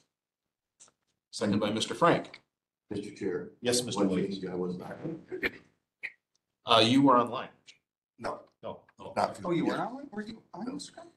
He was at the beginning of it. You were, No? Okay. okay. Sorry about No, that. no. We thought you responded to us when you said you Yeah. Okay, we will correct that. Not- yeah, it's- Yes, that's why, I- he was not there, that's why I was chairing the kidney meetings. All right, any other discussion before we vote? All those in favor of adopting these amended board rules, please say aye. Aye. Anyone opposed? One vote opposed, What Was that, I didn't see it. Supervisor Hendricks. And Supervisor Miller, so two in opposition. Okay. I was at that meeting. You were, that was, okay. That's what we heard. Oh, that was you. That was me. Oh. Okay. What else bad did you say about? Okay, wait a minute. We will clear that up. And correct the minutes and I will, I'm supportive of it. Uh, We're Elaine brothers, and Supervisor Miller, right? Was he Right. opposed? Supervisors Hendricks and Miller in opposition. Got it. okay. Uh, with the two votes in opposition, the resolution is adopted. Thank you. Thank you, Mr. Chair. It's a Yes, and- seeing everybody And again. uh, thanks as well to the Wisconsin Counties Association. Andy's time was being billed to them for assisting us with this. Uh, WCA has been able to take his experience in working with us. They recently released a template of county board rules for every other county to use that were based largely on what Andy developed with us uh, earlier this year, so. We will continue on our agenda. Uh, We are skipping item twenty-five. We'll put that off till next month. So that brings us to item twenty-six. An ordinance adopting and enacting a new code of ordinances for Richland County, a very exciting ordinance. Yeah, so we ready? Yes. So for those of you that have been around for a little while, this whole codification of ordinances is not a new project, right? So just to give you a summary of kind of how this has happened, I went through the, my pile of stuff back here. And this codification process actually started on January eighteenth of twenty twenty-two, when we approved the adoption of resolution number twenty-two nine, which was to take our current ordinances and have them codified into a codified code of ordinances. So a review of that process, since this has been a bit of time since we started. Um, upon approval, all existing ordinances were scanned and sent to the vendor. Uh, the vendor was then called Municode, they're now called Civic Plus, so we've, they've had a little merger in the process, but for those of you that have been up in my office, you've probably seen the ginormous ordinance books, right, that are, um, rather old and, uh, rather antiquated, so nonetheless, um, I cannot take credit for scanning all of those items. Miranda scanned all of those items, which was a feat in itself to get them scanned one. But then second, to the vendor to then dissect and put together in a real codified code of ordinances. So after we sent those out, um, they sent us a code organization plan, um, that Attorney Wendell and I reviewed around March first of twenty twenty-three. There was a bit of a delay from when we sent the original items to when the items started to move through. The message from the vendor was that they had um, underestimated the amount of time a project like this takes. There were still some other COVID situations going on that delayed a, a few things in between there. So nonetheless, um, we received our first draft manuscript on July eighteenth of twenty twenty-three. And that was this thing here. So I show you this because if you've been to my office, those books, those ordinance books, they're like twenty-five million times the size of this. So they were able to take our ordinances and codify them into just this manual that you have here. Um, this document, also known as the manuscript, was then reviewed by myself, Administrator Pesh, and Attorney Wendell. We took this, went through each of the sections, the newly uh, created sections, and then divided that out to all department heads. This was given, there's, was a three-step review process that went from August twenty-fourth of twenty twenty-three through October sixth of twenty twenty-three. The finalized documents, once reviewed by all applicable departments, were then sent off to, um, I call them Unico Pacific Plus to have, um, the, all those changes, any changes reviewed and put into this that you see here. So fast forwarding to October one of twenty twenty-four, we received this, which is all of our ordinances, and these binders are touchy, so you can look later, but all of our ordinance codified into, yeah, right, um, a real, uh, code of ordinances that once approved will be then placed online. So the thing I want to mention is the ordinance, the ordinances that we had did not change. So when you're adopting this ordinance, you're not adopting a whole new set of laws. These are ones that we already had as a county. They just put them into a more user-friendly format. And the only other change that was done was general, they did gender neutralization and I believe they may have um, taken a few things that were no longer relevant. There was a code attorney that did this in, in, you know, conjunction with our own corporation counsel.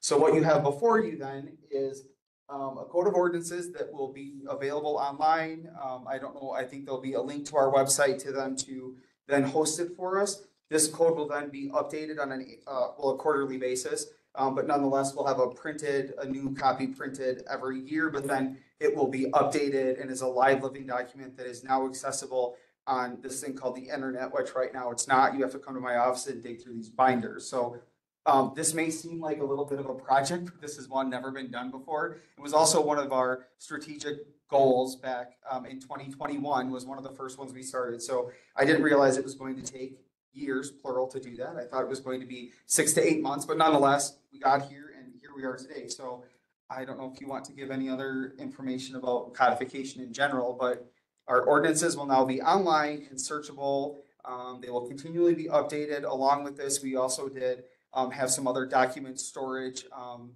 uh, capabilities that will make resolutions and other things also a little easier to search online as well.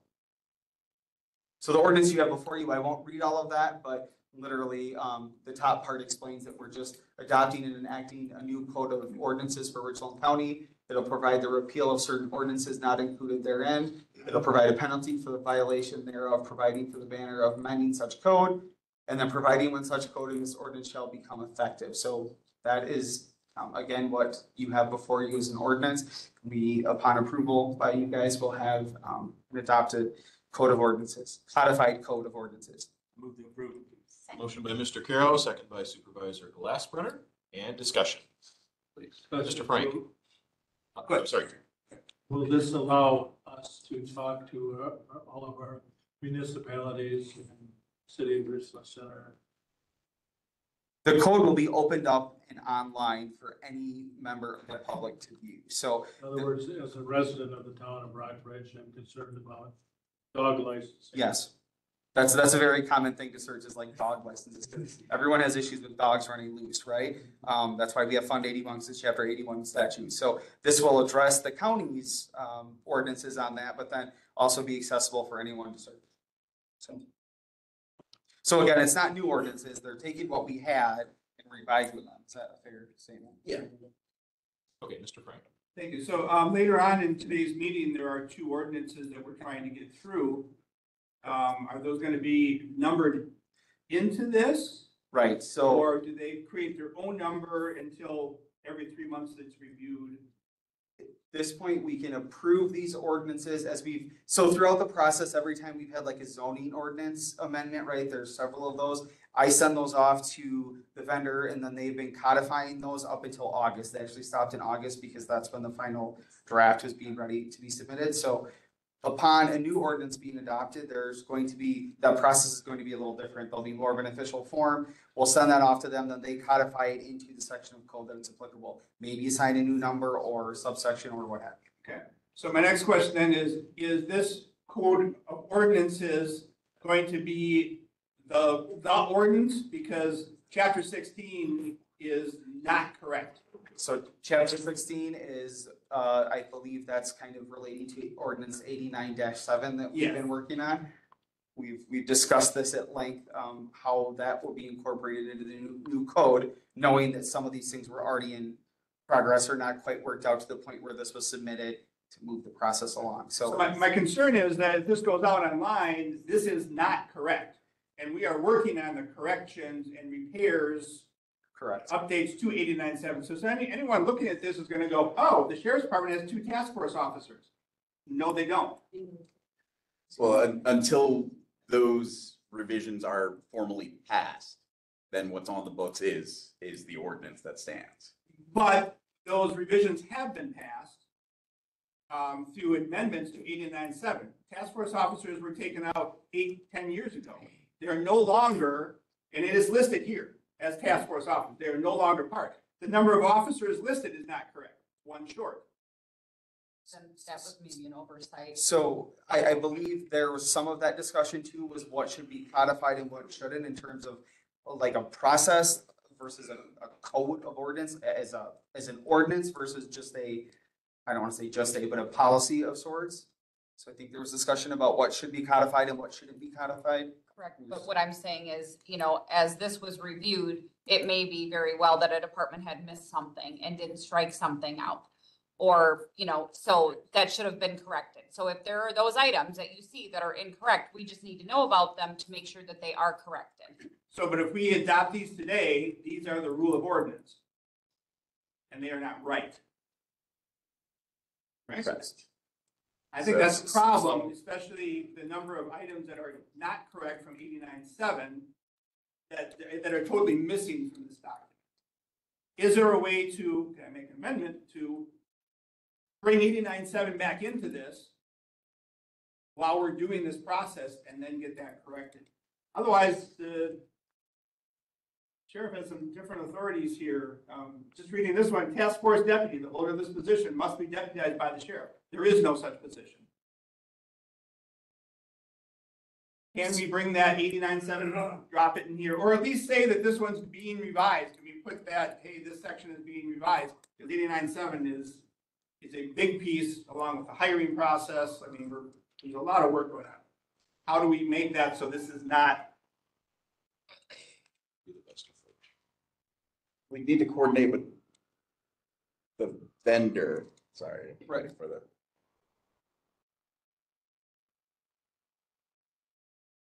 So I, I would, I guess I would, if it's possible, go ahead and pass the, the code of ordinances except sixteen.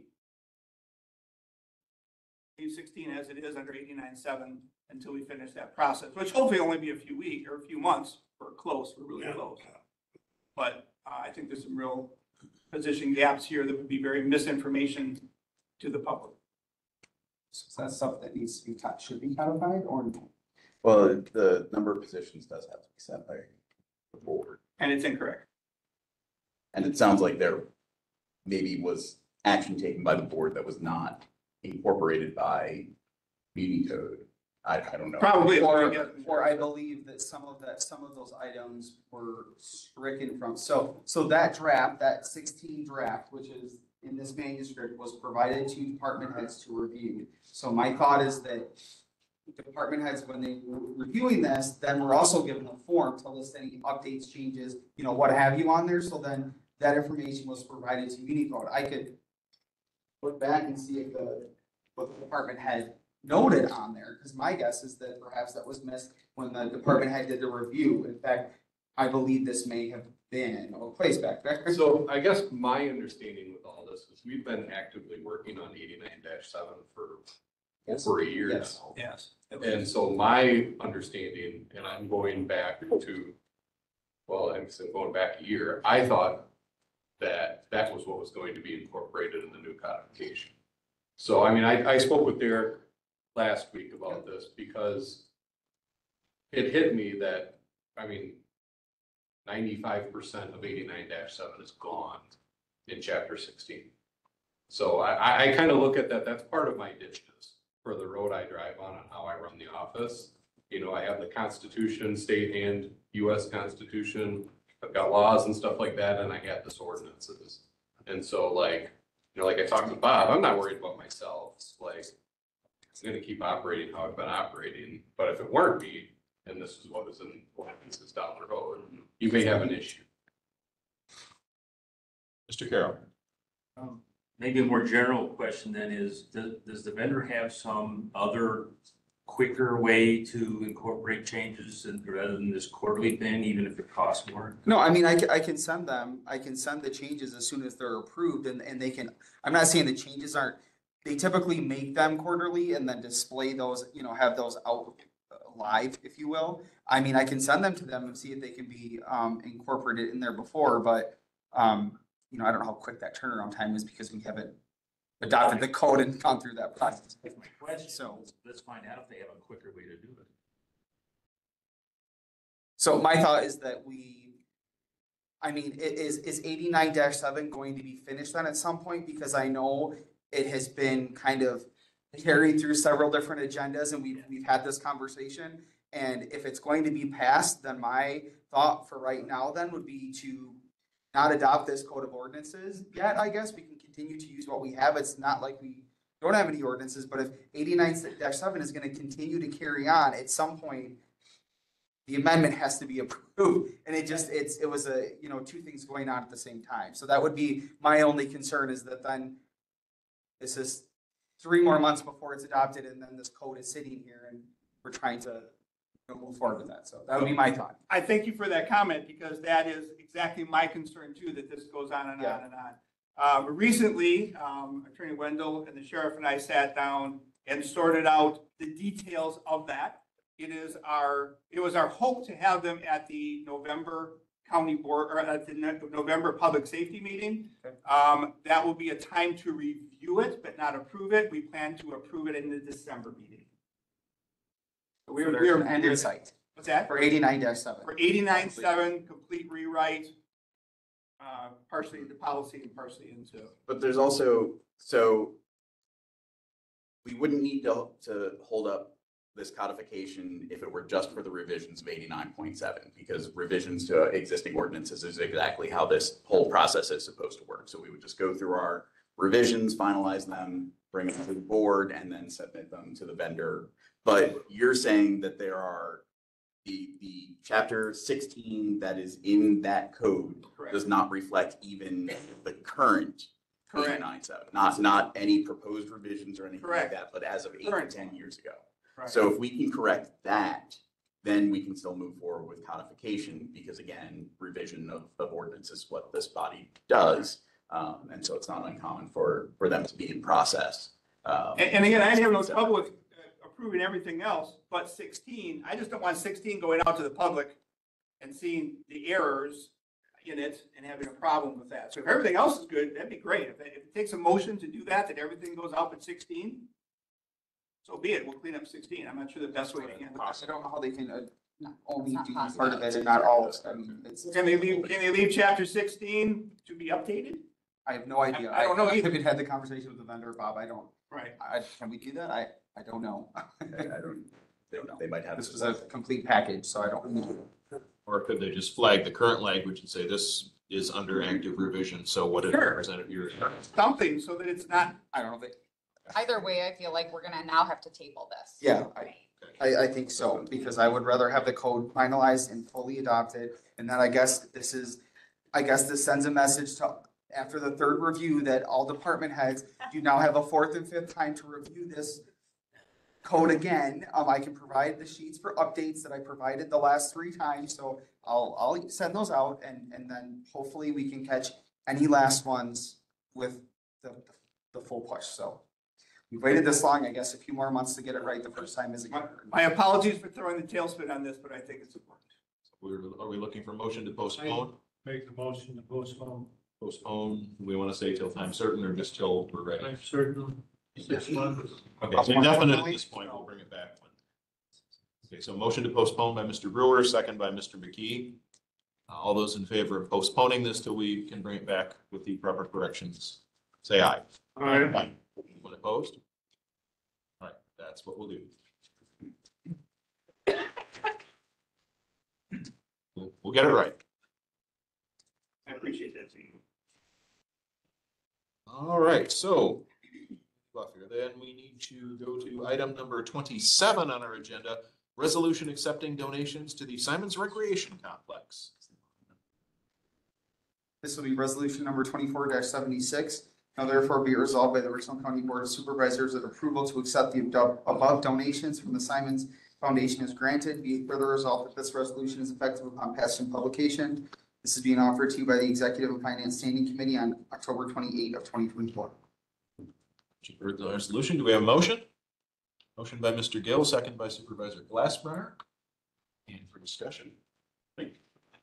Uh, yeah, I just, uh, got a long agenda, so I won't much, much of your time here, but, um, just want to thank the, uh, the Symons Foundation. Their goal was to, um, contribute uh, around fifty thousand dollars a year to help make uh, Symons more sustainable facility. Uh, with this, um, approval tonight, this will get them right at fifty thousand dollars for the year. We've also got some other things we're working on that might get in yet this year, early next year. Um, but this is, uh, a big, uh, a big statement from them, I guess, just in their support in our member support and our donor support, uh, that is helping to uh, reduce the levy impact of Symons, but improve the facility, uh, for our residents as well. So thank you for your support. Thank you. Any questions from the board on these donations? Mr. Chair, same changes as the last one. Yes, Mr. Frank, as opposed to Mr. Williamson. Frank.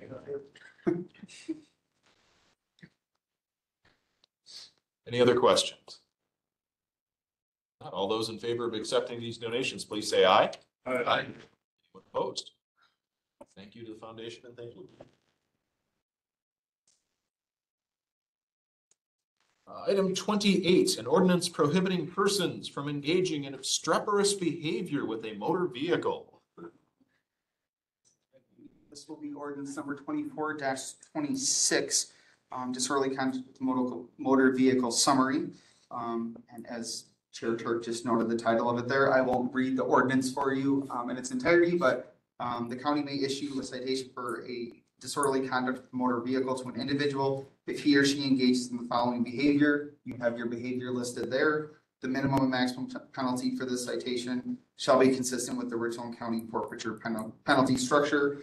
And this is being offered to you by the Public Safety Standing Committee on October four of twenty twenty-four. Read the ordinance. Do we have a motion? Motion by Mr. Manning, second by Mr. Cosgrove. Any quiz us on what obstreperous? Yeah. I had to ask before the meeting, so I did not know, but our, our corp counsel was able to locate that definition for us. Noisy and difficult to control. Yeah. Mr. McKee? Um, Says motor vehicle. Yes. To me, that can mean a car, a truck. There are specific definitions of motor vehicles in Wisconsin statutes that we would rely on in determining uh, whether or not something counts as a motor vehicle. Other questions? I can't imagine this ordinance hasn't been there. I swear I was ticketed under this ordinance. So the, the city has uh, an equivalent, um, kind of called, uh, uh, what did I just say? Unnecessary display of power, a display of power. Um, But uh, DA Harper did bring these forward and indicated that they were a tool that she did not currently have. Um, And so asked that the- they be reviewed as a possibility. Any other question? Those in favor of the ordinance, please say aye. Aye. Opposed? It's adopted. Uh, Item twenty-nine, an ordinance prohibiting persons from acting contemptuously with respect to the circuit court. Okay, this will be ordinance number twenty-four twenty-seven. The county may issue a citation charging an individual with contempt of court if he or she engages in any of the following. So you have A through D listed there for behavior. And once again, the minimum, minimum and maximum penalty for this citation shall be consistent with the Richland County forfeiture penalty structure and is again offered by the Public Safety Standing Committee on October fourth, twenty twenty-four. Motion from Cosgrove to this ordinance, second from Supervisor Kramer. Any questions? Mr. Carroll? Sounds great, but how in the world do we not already have this? Well, I would assume there is like a felony contempt of court and things There like is. that, But this is an ordinance. Yes. Um, if you'll indulge me geeking out a minute. Um, so what we have on the statute, there is contempt of court in the civil context. So um, I saw it a lot in family law. I had clients who would want me to go after the other parent because they did this or didn't do that, the other thing. Um, and that is a, a civil action.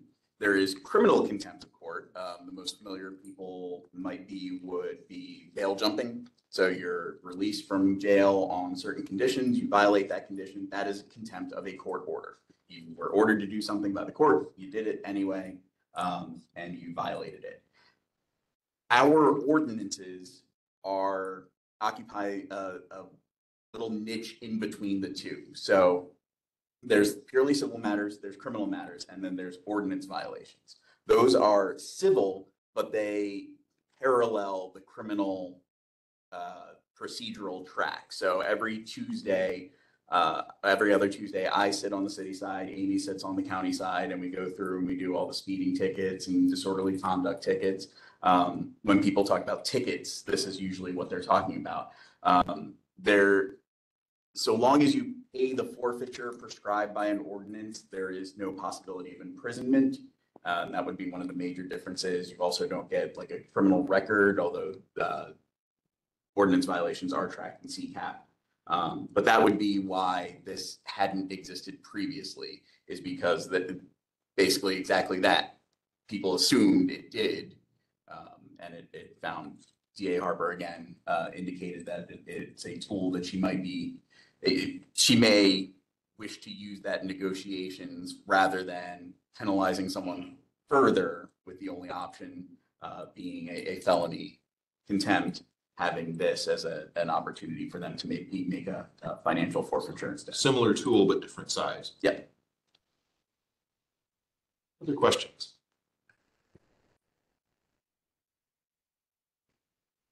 Not all those in favor of adopting this ordinance, say aye. Aye. Anyone opposed? This is adopted. Thank you. Item thirty, a resolution approving the purchase and implementation of Microsoft Office three sixty-five. This will be resolution number twenty-four seventy-seven. Now therefore be it resolved by the Richland County Board of Supervisors that approval is hereby granted for the purchase of Office three sixty-five licensing from CDWG in the amount of sixty-nine thousand four hundred thirty-five dollars and sixty-six cents. And the implementation to be performed by Bose Allen at a cost not to exceed forty-two thousand six hundred and twenty-five dollars for a total cost not to exceed hundred and twelve thousand sixty dollars and sixty-six cents. Be it further resolved, that the funds to carry out this resolution shall come from the following sources. Sixty-six thousand dollars from ARPA funds, from Health and Human Services, and forty-six thousand sixty dollars and sixty-six cents from the remaining twenty twenty-two MIS CIP budget. Be it further resolved that this resolution shall be effective upon its passing publication, is being offered to you by the Executive and Finance Standing Committee on October eighth of twenty twenty-four. For the resolution, by motion by Supervisor Hardwick, second by Mr. Brewer. In discussion. Barb, on or- Yeah, I, I'm online. There she is. Hi, Barb. Mm-hmm. Good evening. We gotta get you turned up here in the room, Barb, just a second. Hear There we me go. now? Yep. Okay. So Office three sixty-five is something we've been uh excited to do for a long time. It's gonna give us a lot more tools in our toolbox and help with the security for the uh network of the county because our uh email will now be hosted in the cloud. Uh, we're really excited about moving forward on this and we have a good opportunity using some ARPA funds that are going to uh, expire if we don't use them. So this is a great time to do this, and I'm hoping that you all have good support for this. It will also give all of you who have iPads the opportunity to put Excel, Word, and the Office Suite onto your iPads.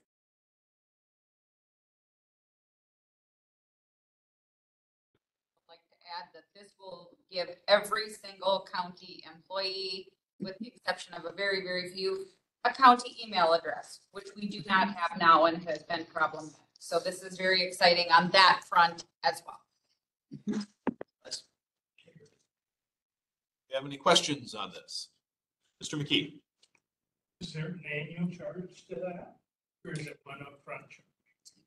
No, there is an annual um expense that is about the sixty-nine thousand. Um, we're working on a couple of different vet avenues to cover some of that licensing. A lot of the departments that have um funding to reimburse, that is a reimbursable cost. So any of the state funding ones, those are reimbursable costs. And it will have to then be a part of our ongoing budgeting to incur, and make sure these covered, Yeah. costs are covered. Yes. Mr. Woodhouse? Are there uh, additional cost savings or assets to be uh, sunsetted with this implementation? At this time, there, there may be, um, it will take about a year and a half to implement all of those. So I hate to say yes, because you're not gonna realize those costs immediately. Um, we had hoped for more than what we're seeing. Uh, and it's possible that we will, but some of the security, some of the encryption and those types of things that we pay for separately, we're hoping not to have to pay. So there are some offsets. Thank you. Other questions? Seeing any, so all in favor of this resolution signify by saying aye. Anyone opposed? Resolution is adopted. Thank you. Thank you.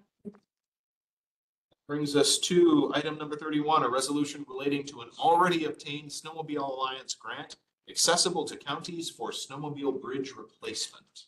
This will be resolution number twenty-four 78 78. Now therefore be it resolved by the Richland County Board of Supervisors that approval is hereby granted to complete the project as defined. Submit for reimbursement once all work is completed. Be further resolved that this resolution shall be effective immediately upon its passing publication. This being offered to you by the Public Works Standing Committee on October three of twenty twenty-four. You've heard the resolution. We have a motion. Motion by Mr. Cosgrove, second by Mr. Frank. Discussion. Josh? Uh, fairly standard procedure as the snowmobile club says a bridge is becomes obsolete. This one's base was already designated to be replaced, and then with that, floods, we had a really serious, really devastating that bridge. Uh, they go all, we get bids for a new bridge, it's hundred percent paid for by the DNR, it's full cost the county, but we have to facilitate the actual replacement of the bridge. That's Pretty cut and dry procedure. Any questions? Questions? All those in favor signify by saying aye. Anyone Opposed? Adopted that resolution. Thank you. Item thirty-two, a resolution approving the sheriff's office to sell surplus firearms to current certified law enforcement staff of the office. This will be resolution number twenty-four seventy-nine. Now therefore be it resolved by the Richland County Board of Supervisors that approval is hereby granted to the Sheriff's Office to sell surplus firearms to current members of the Sheriff's Office staff. Be further resolved that the proceeds from the sale of surplus firearms shall be deposited into the Sheriff's new equipment line in order to help purchase replacement equipment. Be further resolved that this resolution shall be effective immediately upon its passing publication is being offered to you by the Public Safety Standing Committee on October four, twenty twenty-four. You've heard the resolution. Do we have a motion? Motion by Cosgrove, second by Glassbrenner. I have a question on this. It says in the title to current certified law enforcement staff, but that's not in the body of the resolution language. It just says sheriff's office staff. The intent is to be certified law enforcement officers. Okay. Do we need an amendment? to make that? Motion to amend. Okay, so we would need a motion to add that amendment.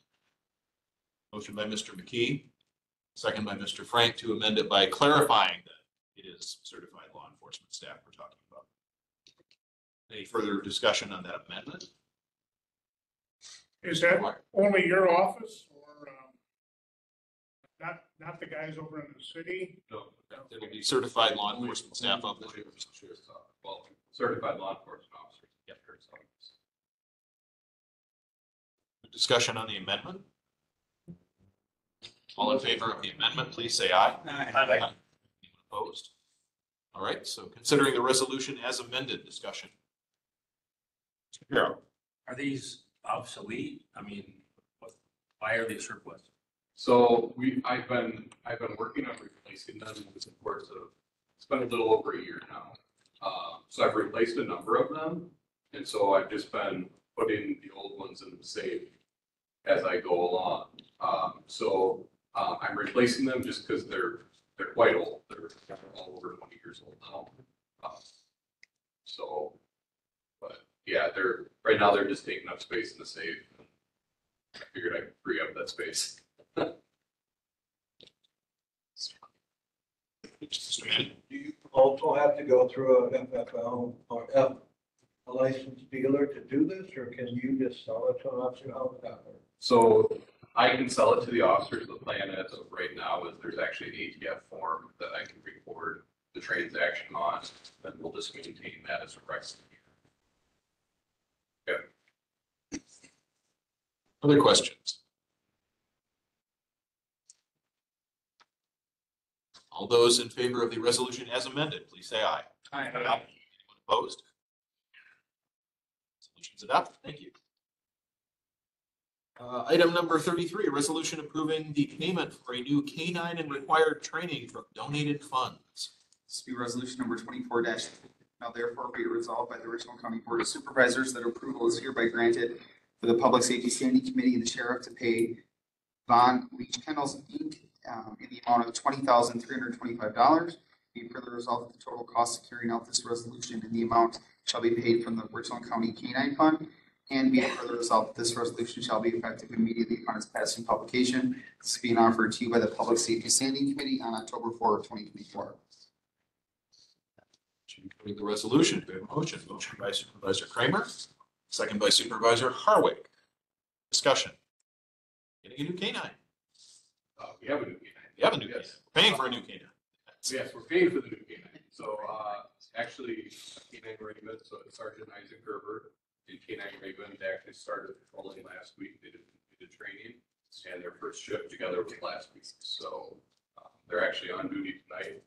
Uh, I'm guessing they can't get here by the end But, um, they are on duty tonight and they've been working for us for a week. Um, just, the, the funds are all donated funds. Um, so when you look at the Richland County K nine fund, um, it's built up, and basically the public pays for this, right? Well, they pay taxes, but this isn't tax money, this is all donation.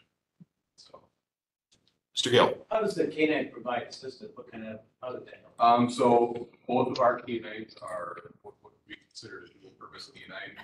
So they're trained in apprehension, tracking, apprehension, and drug, uh, drug location. So, um, they we look, use them to look for people, whether it's people we want for arrest purposes, or it's just somebody who's lost. Um, we can use them to search for people, we can use them to search for articles. Somebody lost their cell phone out in Hayfield. Uh, we could actually use them to locate stuff like that. Um, That's, I, you know, do you tie up a canine or something like that? Maybe not, but it is a possibility. Um, and then locating drugs. Um, Yeah, article searching, finding people, finding drugs. Yep. Sometimes at a traffic stop, they'll have the canine go around the vehicle and do a sniff, correct? Yes, yep. Other questions? There are no other questions, then all in favor of the resolution, please say aye. Aye. Aye. Opposed? Signature adopted. Item thirty-four, resolution approving termination of current billing contract with EMSMC. This will be resolution number twenty-four eighty-one. Now therefore be it resolved by the Richland County Board of Supervisors that approval um, is hereby authorized for the termination of EMSMC ambulance contract. Be it further resolved that this resolution shall be effective upon its passing and publication. This resolution, resolution is being offered to you by the Executive and Finance Standing Committee at their uh, September 10, 2024 meeting. The resolution. Motion, please. By Mr. Gill, second by Mr. Manning. Um, who's got discussion on this? Um, I'll take it, uh, as Mike is unfortunately not feeling well. Um, so as you, many of you know, the primary source of funding for the ambulance service is billing. It's billing for calls, it's getting those reimbursements for calls that they go on from insurances, Medicare, Medicaid, all of those varying things. In order to facilitate that billing and those collections, um, there is a contracted provider because obviously our ambulance service staff does not have time to be doing it on their own. And so about a year ago, we switched providers because we were having issues with the current provider at that time falling behind, not um, keeping up with our reimbursements and our billings. Um, and to this date, I don't think we've still seen all of the money from that biller.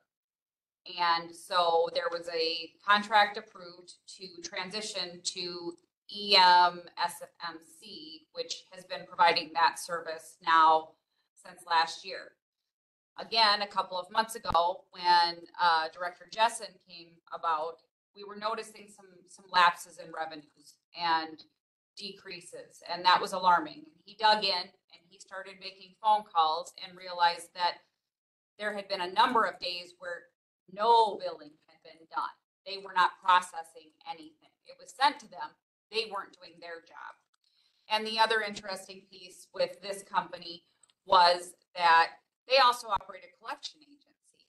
So how hard are they going to try to go out and get the funds that are owed to them when they can charge us more money and try to put them into collections? So he did work with um, some account specialists there. They apologized up and down. Nope, we're going to do better. We're going to fix this. Um, but really have not seen that increase in those revenues. Still a lot that is backdated in August. We did get a significant amount of those reimbursements in, which was encouraging, but again, it's still a struggle. And he did find another provider that offers a lot more benefit um, and has agreed to uh, start providing services for us on January first with a, the same cost as we were paying for E ESM MC. So um, with that, and I know you probably have more questions than, than that that I can't answer, but that's the gist of what has gone on. Attorney Wendell has been involved, so there, are if you have any more technical questions, he may be able to answer those. Any questions from the board? Yes, Mr. Were, Burns. were, were multiple, uh, billing agencies contacted, was this put out for bid, was this, So- how did we land on this recommendation? Mike researched it. He reached out to another, uh, a number of different services. Um, I can't recall how many off the top of my head, but, um, it- this was not pursued lightly. Um, we did give EMS MC a, a chance to, um, turn things around and it was ultimately decided that any improvement was because of the increased scrutiny, uh, rather than any sustainable change in, in service. So, um, yeah, I know that he spoke with a number of departments who were very, um, positive about the, the new service that we're looking to engage with. Um, and I think the, the defining characteristic of the new service is that it was founded by former EMTs. And so that it- there's, um, like an inventory management system and everything that's involved. Um, and presumably it's geared towards the people who do that in and out every day. So hopefully third time's the charm here. Um, but, uh, you know, he, he was aware of the failings of, of the CV one. And then, um, you know, saw firsthand the failings of EMSMC. Um, and so I, I don't think he jumped into this new proposal. Sure, thank you. Professor Kramer.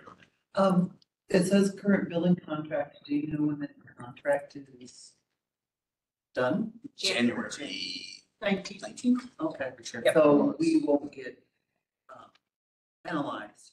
No, for- no, we, we elected to pursue just a, a notice of non-renewal. Okay. um, Rather than trying to terminate it. Thank you. Mr. McKee? What happens if they just have a bunch of buildings that they haven't processed? We go to the company, does that get switched over to the new company? They have said that they will go back and um, did they say audit or basically review all of those. You know, the hard part is from, from what I understand, there are certain timings on certain bills. So you, once they're submitted, you only have so long to, to process and pay and all of that. And then after that, you really can't go after them for those dollars. But they're gonna go back through, they're gonna look at those things and they're going to rebill, if you will, those items that they can. So, which is good. And they're gonna go back through and look at, I think, the past. There's a, there's a pretty significant period of time. I, I would wanna say a year, but I don't know that it's that long. They're gonna go back through and they're gonna look at it and try to see if there's any way that they can get, maximize those dollars to try to get payments for some of those things, which is also wonderful. Um, and this service, as Mike said, it, it has a lot of other modules that go with it. There's a scheduling module, the inventory management module, so it's kind of an all-in-one. Um, and all of that stuff comes at the same cost, which is also nice. You get way more for what you're paying. So I, I think that's another reason why he was pretty drawn to it, because it gives so many additional features. I, I believe there was a comment that the service that we are looking to switch to is familiar with the process of taking on outlying bills from providers. Yeah. So th- this is not the first time they've seen something like this. Other questions?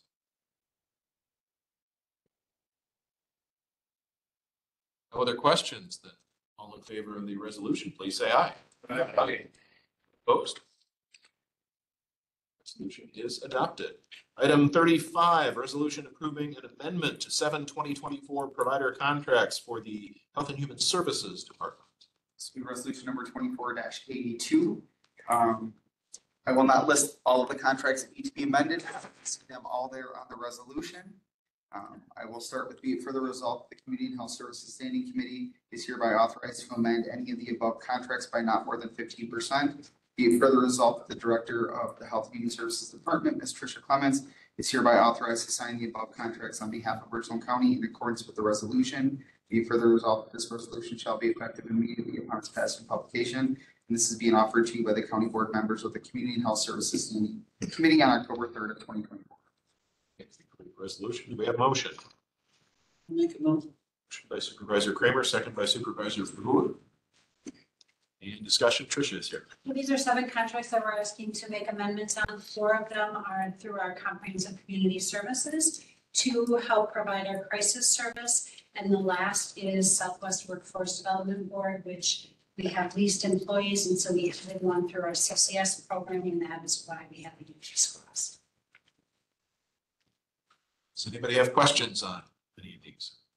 I would just like to make a comment. Yes, Mr. Brewer. Over the years, we have labored and sweated, examined these kinds of requests to the point of uh, meaningless dialogue. And it's good. Now I'm I'm totally convinced. We've got good transition here. We've got good transition in the board. So let's do county business. Questions? Other questions? Then all in favor of the resolution to make these amendments, say aye.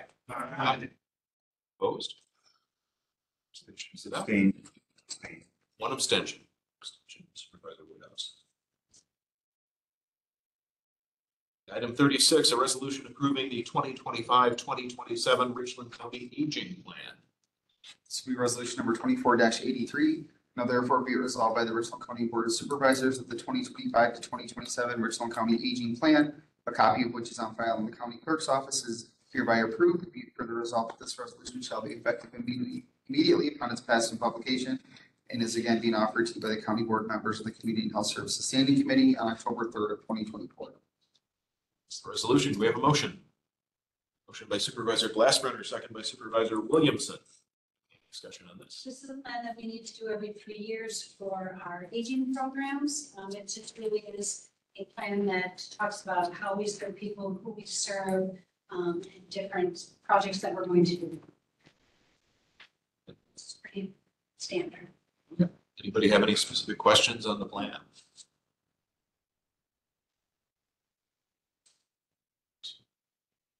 Not, then all in favor of adopting it, please say aye. Aye. Opposed? Plans adopted. Uh, Item thirty-seven, a resolution relating to Richland County's participation in a state program providing specialized transportation assistance. Be resolution number twenty-four eighty-four. Now therefore be it resolved by the Richland County Board of Supervisors the Richland County Department of Health and Human Services and its director are hereby authorized to prepare and submit to the Wisconsin Department of Transportation an application for assistance during twenty twenty-five under Wisconsin statute section eighty-five point two one in accordance with the requirements issued by the Department of Transportation. Being further resolved that a sum of not less than fifteen thousand nine hundred and seventy-eight dollars of the amount budgeted for transportation funds for the Department of Health and Human Services Transportation Account in twenty twenty-five. Uh, Richland County budget shall be used as the twenty percent matching cost, uh, county cost share portion of the program for specialized trans- transportation assistance. With, with county contribution will enable Richland County to receive the seventy-nine thousand eight hundred and eighty-nine dollar grant, which has been allocated to Richland County for twenty twenty-five by the Wisconsin Department of Transportation again in accordance with Wisconsin statute section eighty-five point two one. Be further resolved that the Director of the Department of Health and Human Services, Ms. Tricia Clements, is hereby authorized to execute a state aid contract with Wisconsin Department of Transportation under Wisconsin statutes eighty-five point two one on behalf of Richland County. And be further resolved that this resolution shall be effective immediately upon its passage and publication. This is once again offered to you by the county board members of the Community Health Services Standing Committee on October third of twenty twenty-four. Resolution, motion, motion by Supervisor Kramer, second by Supervisor Fleming, and Tricia again. This is a grant that we do on a yearly basis. This covers our volunteer driver program and our um, public transportation through us. Something we do every year. Any questions on this? All Those in favor of the resolution, please say aye. Aye. Right. Item thirty-eight, resolution approving the purchase of new network switches for Pine Valley Community Village. This will be resolution number twenty-four eighty-five. Now therefore be it resolved by the Richland County Board of Supervisors that approval is hereby granted for the purchase of new network switches for the Community Services Building and be it further resolved. um, I think that should say, uh, Pine Valley Community Village, not Community Services. correct? Yes. Um, and be it further resolved that the quote received from Jaycom Technologies in the amount of twenty-eight thousand twenty-three dollars and thirty-seven cents is accepted and the cost will be covered by Pine Valley Community Village, um, Fund sixty-one. Be it further resolved that the resolution shall be effective immediately upon its passing publication. And this is being offered to you by the Executive and Finance Standing Committee on October twenty-eighth of twenty twenty-four.